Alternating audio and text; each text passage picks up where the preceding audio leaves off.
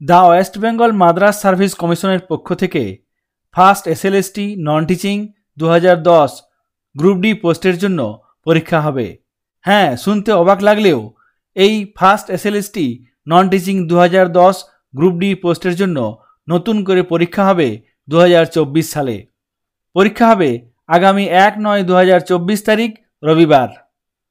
লিখিত পরীক্ষা হবে আগামী পহেলা সেপ্টেম্বর দু হাজার চব্বিশ। এই বিষয়ে কমিশনের ওয়েবসাইটে বিভিন্ন ধরনের গুরুত্বপূর্ণ তথ্য শেয়ার করা হয়েছে। সেই বিষয়গুলি আজকে আপনাদের সঙ্গে শেয়ার করব।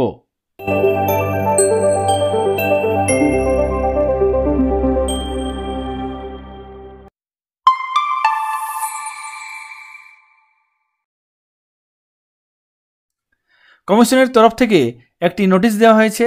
নোটিশ দেওয়া হয়েছে নয় আট দু তারিখে।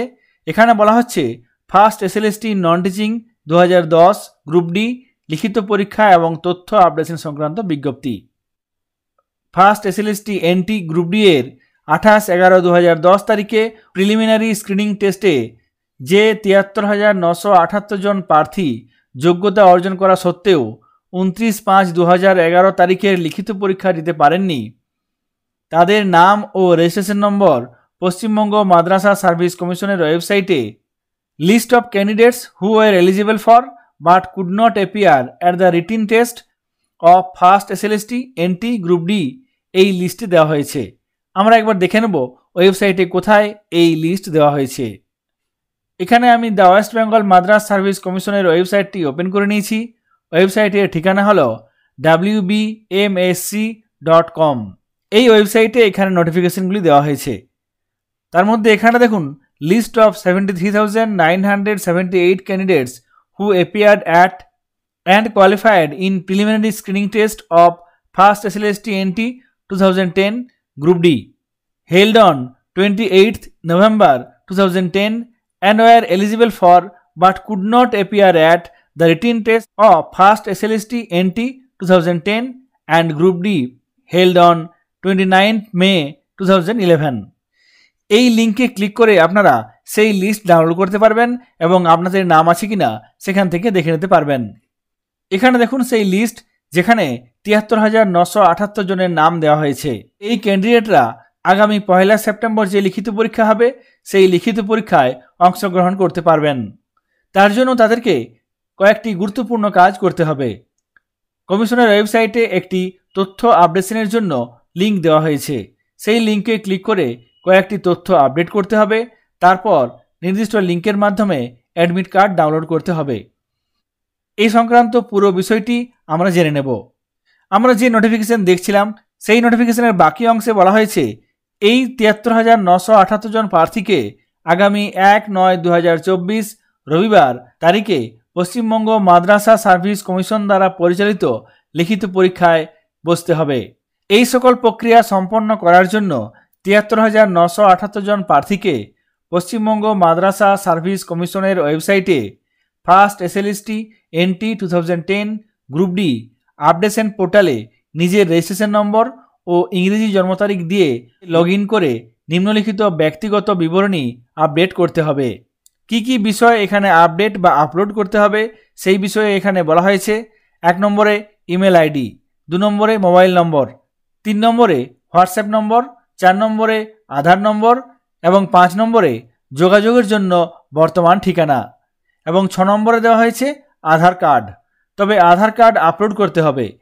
সেই ক্ষেত্রে আধার কার্ড স্ক্যান করে জেপিজি বা জেপিজি ফরম্যাটে পাঁচশো কেবির মধ্যে ফাইলটি বানিয়ে নিতে হবে। তারপর এই আধার কার্ড আপলোড করতে হবে।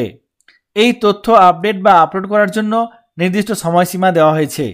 তথ্য আপডেট বা আপলোড করার শেষ সময় পঁচিশ আট দু রবিবার রাত্রি এগারোটা উনষাট মিনিট। এই সংক্রান্ত বিষয়ে কোনো সমস্যার সম্মুখীন হলে এখানে হেল্পলাইনও দেওয়া হয়েছে। এই নোটিফিকেশনে এখানে তথ্য বিবরণী আপডেট সংক্রান্ত যে কোনো অনুসন্ধানের জন্য এখানে নম্বর দেওয়া হয়েছে। এই নম্বরে সকাল দশটা থেকে বিকেল পাঁচটা পর্যন্ত যোগাযোগ করতে পারবেন। তাছাড়া এখানে একটি ইমেল অ্যাড্রেস দেওয়া হয়েছে। যে ইমেল অ্যাড্রেসে আপনার সমস্যা জানিয়ে ইমেল করতে পারবেন। তাছাড়া এই বিষয়ের জন্য একটি হোয়াটসঅ্যাপ নম্বরও দেওয়া হয়েছে। Nine eight seven four three five five one one two এই হোয়াটসঅ্যাপ নম্বরে হোয়াটসঅ্যাপ করলে আপনারা চব্বিশ ঘণ্টা সার্ভিস পাবেন। মাদ্রাসা সার্ভিস কমিশনের ওয়েবসাইটে যে বিজ্ঞপ্তি দেওয়া হয়েছে, সেই বিজ্ঞপ্তিটি আপনাদের সঙ্গে আলোচনা করলাম। এরপর দেখে নেব কোন লিঙ্কের মাধ্যমে আপডেট করতে হবে কিংবা কোন লিঙ্কের মাধ্যমে অ্যাডমিট কার্ড ডাউনলোড করতে হবে। এখানে আমি কমিশনের ওয়েবসাইটটি ওপেন করে নিয়েছি। এই ওয়েবসাইটে এখানে দেখুন নোটিফিকেশনগুলি দেওয়া আছে। নোটিফিকেশানের লিঙ্কগুলো এখানে দেওয়া আছে। প্রথমেই আছে download admit card first SLST NT two thousand ten group D written examination তবে অ্যাডমিট কার্ড ডাউনলোড করার আগে যে গুরুত্বপূর্ণ কাজটি করতে হবে, সেটি হলো আপডেশন এখানে দেখুন first SLST NT two thousand ten group D updation portal এই লিঙ্কে ক্লিক করে আপনাদেরকে প্রথমে তথ্য আপডেট করতে হবে এবং আধার কার্ড আপডেট করতে হবে। প্রথমে এই লিঙ্কে ক্লিক করব। এই লিঙ্কে ক্লিক করলেই সঙ্গে সঙ্গে দেখুন online updation portal of first SLST NT group D. এখানে ডান দিকে দেখুন রেজিস্ট্রেশন নম্বর একটি বক্স আছে। এই বক্সে আপনার টেন ডিজিট রেজিস্ট্রেশন নম্বরটি লিখতে হবে। তারপর নিজের ইংরেজি জন্ম তারিখটি যেটি ফর্ম ফিল করার সময় দিয়েছিলেন, সেই তথ্যটি এখানে দিতে হবে। এখানে প্রথমে জন্ম তারিখের তারিখটি সিলেক্ট করতে হবে। তারপর এখানে মান্থ সিলেক্ট করতে হবে ওয়ান টু থ্রি ফোর করে আছে। তারপর এখানে আছে ইয়ার নির্দিষ্ট জন্ম সালটি এখান থেকে সিলেক্ট করে নিতে হবে। তারপর নিচে এখানে লগ ইন অপশানে ক্লিক করতে হবে। তাহলেই আপনারা আপডেশন পোর্টালে প্রবেশ করতে পারবেন। আপডেশন পোর্টালে প্রবেশ করার পর যে তথ্যগুলি আপডেট করতে হবে, সেগুলি হলো email address mobile number WhatsApp number, Aadhaar number এবং সেই সঙ্গে সঙ্গে যোগাযোগের ঠিকানা। তবে এক্ষেত্রে আধার কার্ডের ছবি আপলোড করতে হবে। আধার কার্ডকে স্ক্যান করে নিয়ে জেপিজি বা জেপিইজি ফরম্যাট বানিয়ে নিতে হবে এবং অবশ্যই এর সাইজ পাঁচশো কেবির মধ্যে রাখতে হবে। আপডেট প্রক্রিয়া সম্পূর্ণ করতে সাবমিট অপশানে ক্লিক করতে হবে। তারপর সাবমিট অপশান ক্লিক করলে সঙ্গে সঙ্গে একটি কনফার্মেশন উইন্ডো আসবে। সেই উইন্ডোতে ওকে অপশানে ক্লিক করতে হবে। যদি সাবমিট করতে চান, সেক্ষেত্রে ওকে অপশানে ক্লিক করতে হবে এবং পুনরায় এডিট করতে চাইলে সেক্ষেত্রে ক্যান্সেল অপশানে ক্লিক করে এডিট করার পর পুনরায় সাবমিট করে কনফার্মেশন উইন্ডোতে ওকে ক্লিক করতে হবে। সাবমিট করার পরে ভবিষ্যতের রেফারেন্সের জন্য একটি প্রিন্ট আউট নিয়ে রাখবেন। যে সমস্ত ক্যান্ডিডেটের নাম কাউন্সিলের ওয়েবসাইটে দেওয়া হয়েছে, তারাই এই আপডেশন পোর্টালে আপডেট করতে পারবেন এবং পরীক্ষার জন্য অ্যাডমিট কার্ড ডাউনলোড করতে পারবেন। এক্ষেত্রে এখানে দেখুন যে সমস্ত প্রার্থীদের নাম এবং রেজিস্ট্রেশন নম্বর এক আট দু তারিখের কমিশনের বিজ্ঞপ্তিতে অভিহিত করা হয়েছে। তাদের বাধ্যতামূলকভাবে বিবরণ আপডেট করতে হবে। অর্থাৎ আপডেশন পোর্টালে গিয়ে তথ্য আপডেট এবং আধার কার্ড আপলোড করতে হবে। তথ্য আপডেট এবং আধার কার্ড আপলোড করার জন্য আপডেশন পোর্টালটি আগামী পঁচিশে আগস্ট দু হাজার চব্বিশ রাত এগারোটা উনষাট পর্যন্ত খোলা থাকবে। অর্থাৎ যারা এই পরীক্ষা দিতে চান, তারা অবশ্যই পঁচিশে আগস্টের মধ্যে নিজের তথ্য আপডেট করে নেবেন। তথ্য আপডেট হয়ে গেলে এরপর নিজের অ্যাডমিট কার্ড ডাউনলোড করতে পারবেন। অ্যাডমিট কার্ড ডাউনলোড করার জন্য কাউন্সিলের ওয়েবসাইটে সেই লিঙ্ক দেওয়া হয়েছে। এখানে দেখুন সেই লিঙ্ক এই লিঙ্কে ক্লিক করে আপনারা অ্যাডমিট কার্ড ডাউনলোড করতে পারবেন। এই লিঙ্কে ক্লিক করার সঙ্গে সঙ্গে এখানে online admit card for first SLST NT two thousand ten group D written examination first SLST NT two thousand ten group D এর জন্য স্ক্রিনিং টেস্ট এবং রিটিন টেস্ট দুটোই হয়ে গেছে। দীর্ঘদিন ধরে নিয়োগ বন্ধ আছে, এই পরিস্থিতিতে যে সমস্ত এলিজিবল ক্যান্ডিডেট আছে, তাদেরকে এই সুযোগ আবার দেওয়া হচ্ছে। তিয়াত্তর হাজার নশো আটাত্তর জনকে এই পরীক্ষার সুযোগ আবার দেওয়া হচ্ছে। এই পরীক্ষার জন্য অ্যাডমিট কার্ড ডাউনলোড করার আগে আপডেশন পোর্টাল লিঙ্কে গিয়ে আগামী পঁচিশে আগস্টের মধ্যে তথ্য আপডেট করতে হবে।